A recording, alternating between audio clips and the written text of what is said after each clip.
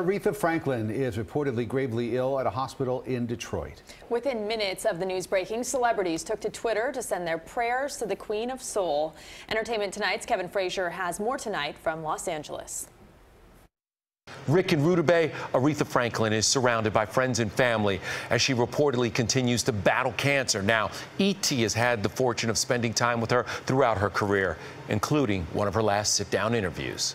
I'm doing very well, fabulously well. As the old folks say, I'm stepping right along. That was Franklin in our 2016 sit down. Today, a family friend confirms to ET that Franklin is in Detroit, surrounded by those close to her. Mariah Carey tweeted, praying for the Queen of Soul.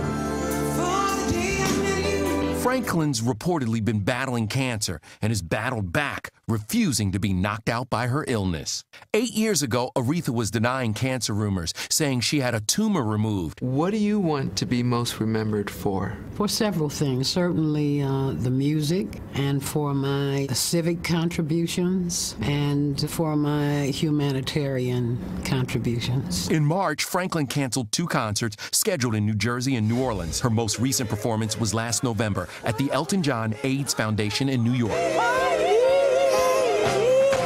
Franklin's contributions through her music continue to touch the masses. Along the way, she's savored every moment of her decades long career. Never take the music for granted. Aretha has sold over 75 million records worldwide. Rolling Stone named her the greatest singer of all time. And she was the first female performer to be inducted into the Rock and Roll Hall of Fame. I like being given respect and I like to give it.